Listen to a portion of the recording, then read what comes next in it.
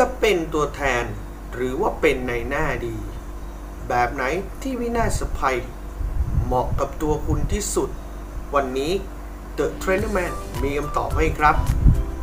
ไปดูกันเลยโอเคครับสิ่งแรกที่คุณต้องรู้ก่อนนะครับสำหรับการที่เราจะเลือกว่าจะเป็นตัวแทนในหน้าวันนี้นะครับ มีรูปสั่งรูปแบบในเรื่อง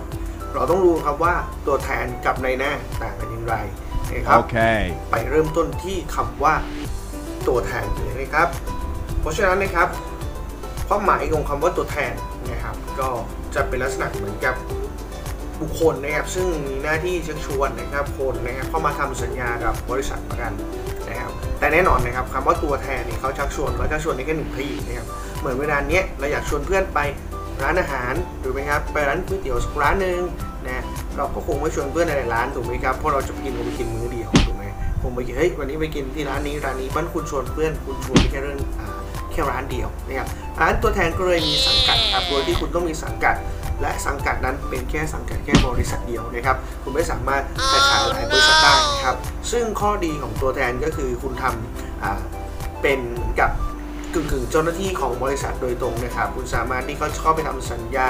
นะครับเข้าไปเก็บเบี้ยในอ่าในรูปแบบนะครับเหมือนคุณเป็นของบริษัทเลยนะครับเพราะฉะนั้นอาภิสิทธิ์ของตัวแทนหนึ่งนะครับส่งที่เดียวนะ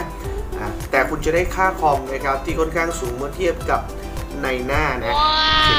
เมื่อเทียบกับในหน้านะคุณจะได้ค่าคอมที่สูงกว่านะครับ ในบางบริษัทก็จะมีรูปแบบการสร้างแพทเทิร์นการสร้างแบบรูปแบบของทีมได้นะครับ สามารถสร้างทีมแล้วก็สามารถสร้างรายได้จากการสร้างขยายทีมได้นั่นเองนะครับอันนี้ก็เป็นสามารถเลือกได้นะครับว่าจะทำแบบไหนนะค รับรูปแบบ support ของตัวแทนจะดีกว่าครับ จะดีมากก็คือหนึ่งก็คือคุณเป็นตัวแทนบริษัทถ้าคุณหมั่นศึกษาพอนะครับบริษัทจะมีอุปกรณ์ support นะครับคุณสามารถอ่าที่จะเข้าไปเรียนรู้ในส่วนของบริษัทของคุณได้นะครับ แล้วก็รูปแบบการ train นะครับของบริษัทจะมีเยอะนะครับคุณสามารถเข้าไปศึกษาได้นะโอเคไหมครับโอเคนี่คือรูปแบบนะครับของตัวแทนนะครับเพราะฉะนั้นตัวแทนส่งงานได้หนึ่งงานเอ่อตัวเดียวส่งงานได้หนึ่งที่นะตัวแทนส่งงานได้หนึ่งที่นะครับ แล้วก็เอ่อ มีรูปแบบ support ที่เยอะกว่าคอมที่เยอะกว่านะครับนั่นเองนี่คือรูปแบบของตัวแทนครับต่อมานะครับในส่วนของนายหน้านะครับนี่นายหน้านายหน้านายหน้านายหน้านะครับ ก็สามารถที่จะเลือกส่งได้หลากหลายที่ครับโอเคไหมเลือกส่งได้หลากหลายที่เลยนะครับ คุณสามารถส่งที่บริษัท 1 2 3 4 ก็ได้นะครับแล้วแล้วแต่คุณจะเลือกไหนนะครับซึ่งมันก็จะมีเงื่อนไขนะครับ ซึ่งในหน้าเขาเดี๋ยวเราจะพูดขยายความนะครับ ก็คือเราจะมีในหน้าหนึ่งคือในหน้าตรงนะครับ กับในหน้าที่มีสังกัดอย่างเนี้ยเดี๋ยวครั้งหน้าจะขยายความตรงนี้นะครับ แต่ผมรวบรวมกันว่าในหน้าก็คือเป็นกลุ่มคนนะครับที่สามารถส่งได้หลาย ๆ บริษัทนะครับ แล้วก็ คอมนะครับจะพูดถึงคอมพื้นฐานก็จะได้น้อยกว่านะครับได้น้อยกว่าเมื่อเทียบกับตัวแทนนะครับแต่นะครับข้อดีก็คือวันนี้ครับถ้าถ้าคุณเป็นตัวแทนเนี่ยเฮ้ยวันนี้คุณไปเจอลูกค้านะครับเขาอาจจะชอบบริษัท A อยู่แล้วนะครับ การที่คุณจะไปคุยกับเขาถูกไหมครับเราก็สามารถเลือกบริษัทนี้ได้ ถ้าบริษัท A บริษัทที่เอ่อสังกัดคุณดิวอยู่นะครับซึ่งต่างกับตัวแทนโดยสิ้นเชิงนะครับตัวแทนคุณเข้าไปครับส่วนว่าผมเป็นบริษัท A ประกันภัยผมเดินเข้าไปคุยกับลูกค้านะครับเออนั่นหมายความว่าครับ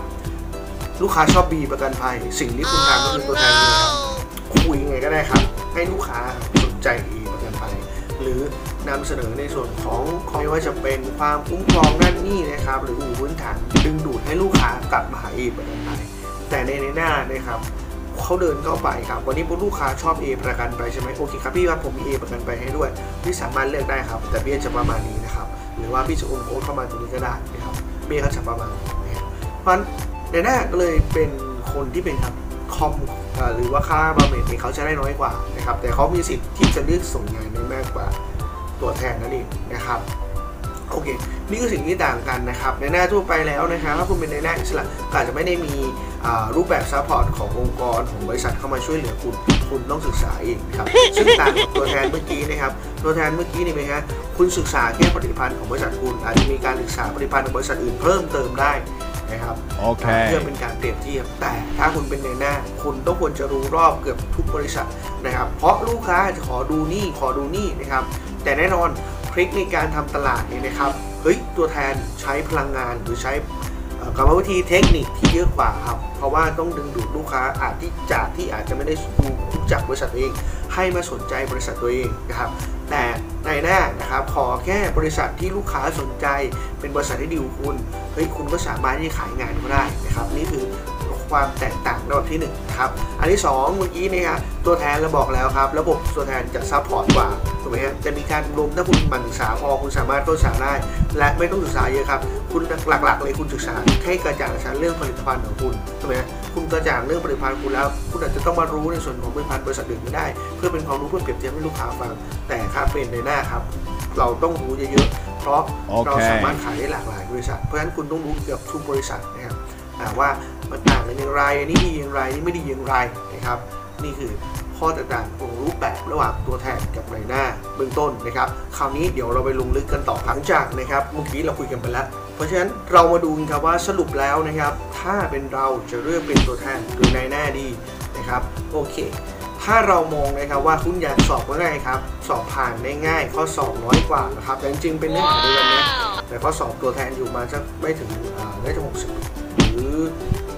ประมาณ 60 ข้อโดยประมาณนะครับอะข้อสอบคุณน้อยกว่านะครับ แต่เนื้อหาก็คือเป็นโหมดเดียวกันกับในหน้าเลยครับแต่ข้อสอบคุณน้อยกว่าวันโอกาสที่คุณจะสามารถทำข้อสอบได้หรือใช้เวลาทำข้อสอบคุณก็จะมีโอกาสที่มากกว่า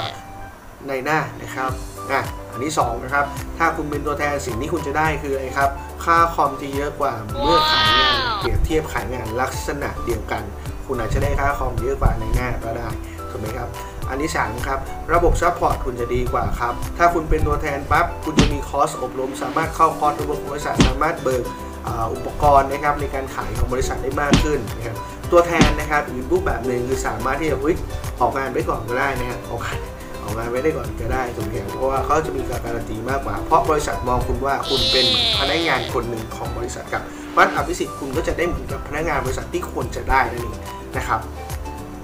ซึ่งต่างกันครับกับ ในหน้านะครับในหน้าก็คือเป็นครับข้อสอบวันนี้คุณไปสอบครับ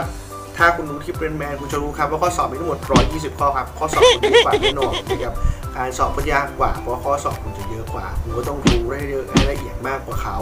นะครับโอเคนที่สองคือด้วยความที่คุณสามารถขาขายได้หลากหลาย บริษัทซึ่งเป็นข้อได้เปรียบนะครับ เพราะวันนี้คุณไม่สามารถบอกได้ว่าเฮ้ยลูกค้าจะชอบบริษัท A บริษัท B หรือบริษัท C ถูกไหมฮะ แต่ถ้าเป็นในหน้าคนมีทั้งสามบริษัทนี้ครับอยู่ที่ว่าลูกค้าจะเลือกอะไรถูกไหมครับหรือแม้กระทั่งคุณสามารถลูกค้าชอบนี้คุณสามารถแนะนำบริษัทไหนก็ได้ที่อาจจะบริการดีกว่า ราคาถูกกว่าให้ลูกค้าก็ได้ นั่นคือเป็นข้อได้เปรียบของในหน้าครับอย่างเช่นเดียวกันครับด้วยความที่คุณ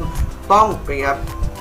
มีผลิตภัณฑ์ค่อนข้างเยอะมีบริษัทหลายบริษัทวันคุณก็ต้องรู้เรื่องความละเอียด มากกว่าตัวแทนครับตัวแทนคุณรู้ละเอียดบริษัทคุณหนึ่งแล้วก็รู้ปะปายในบริษัทคุณหนึ่งเพื่อเปรียบเทียบข้อแตกต่างให้เห็นครับ แต่ในหน้าครับเนื่องจากเราเสมือนว่าเราขายเกือบทุกบริษัทเลยหรือหลาย ๆ บริษัทเลย คุณก็ต้องรู้จุดเด่นจุดด้อยของทุก ๆ บริษัทครับ เพื่อนำเสนอลูกค้าให้ได้นั้นคุณก็ต้องรู้เยอะกว่านั่นเองครับ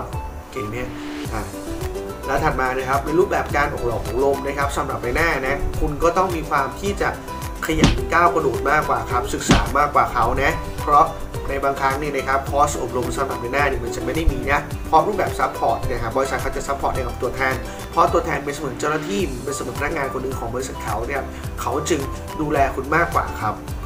แต่สรุปแล้วนะครับใดก็ตามนะครับ วันนี้ถ้าคุณจะเลือกเป็นอะไรคุณก็ต้องดูครับ วันนี้ถ้าคุณมองว่าคุณจะเลือกสักบริษัทหนึ่งเมื่อเป็นตัวแทนเขาคุณก็เลือกดูครับว่าเฮ้ยในส่วนของคุณที่คุณจะไปทำตลาดไปขายนะครับเฮ้ยแถวนั้นเนี่ยนะครับโอเคกับบริษัทไหน หรือคุณเรามองแล้วว่าโอกาสของบริษัทไหนเป็นไปได้มากกว่า เช่น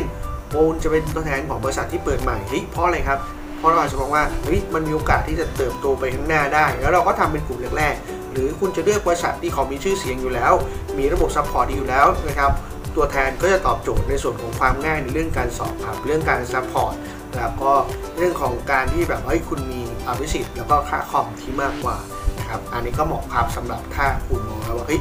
ฉันเป็นตัวแทนดีกว่า เพื่อความง่ายครับ แต่ข้อเสียมันก็มีนะครับข้อเสียของตัวแทนคือคุณขายได้แค่บริษัทเดียว ดังนั้นเวลาที่คุณไปนำเสนอครับคุณไป คุณไป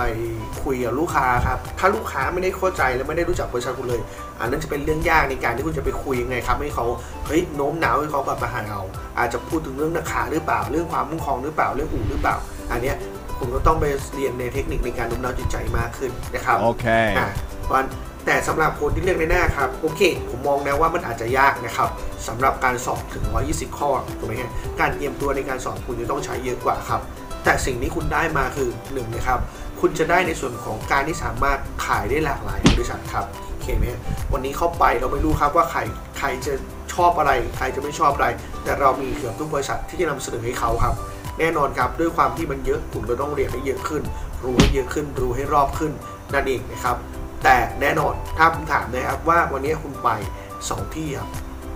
ถ้าไปเป็นตัวแทน คุณไปในลักษณะตัวแทน ถ้าเขาชอบบริษัทคุณอยู่แล้ว ไม่ยากครับ หรือเขาอยากเปิดใจกับบริษัทใหม่อยู่แล้วไม่ยากครับ คุณก็มีโอกาสที่จะขายได้ปิดได้ถูกไหมครับ แต่ถ้าเขาไม่ได้ชอบเขาก็อาจจะเปิดบริษัทใหม่ แต่เขาก็รู้สึกว่าเฮ้ยไม่มั่นใจกับบริษัทที่ไม่มีชื่อ เพราะฉะนั้นความเหนื่อยของตัวแทนก็อยู่ตรงนี้นะครับ แต่สำหรับในหน้านะครับ ความเหนื่อยคุณคือคุณต้องรู้จักทุกๆบริษัทที่คุณมีอย่างน้อยนะครับผมรู้จักเบื้องต้นของบริษัทที่คุณมีว่าจุดเด่นก็คือตรงไหนตรงไหนตรงไหนนะครับ แต่ข้อดีคือคุณไปหาลูกค้าครับ ลูกค้าอาจจะเคยชอบบริษัท A ประกันภัยอ่าโอเคไหมฮะลูกค้าจะชอบบริษัท A ประกันภัยแต่ปัจจุบันนี้ไม่ชอบคุณสามารถดำเนินที่ใหม่ได้ แต่ถ้าลูกค้าชอบ A ประกันภัยอยู่คุณก็สามารถนำเสนอความคุ้มครอง A ประกันภัยในแบบในลักษณะของการโอนย้ายให้ของคุณดูแลก็ได้นะครับ เพราะฉะนั้นเราลองไปเลือกดูครับว่า วันนี้เราอยากได้ค่าคอมเยอะๆนะครับรู้แค่บริษัทเดียวนะครับแต่ใช้พลังงานหน่อย คุยนะครับแล้วก็ไม่ข้อสอบไม่ค่อยเยอะกับสองก็คือถ้าคุณมองว่าเฮ้ยฉันอยากที่มันจะขายง่ายคุยง่ายหน่อยครับ ผมก็แนะนำเป็นในหน้าเนาะเพราะเราสามารถขายได้หลากหลายบริษัทนะครับแล้วก็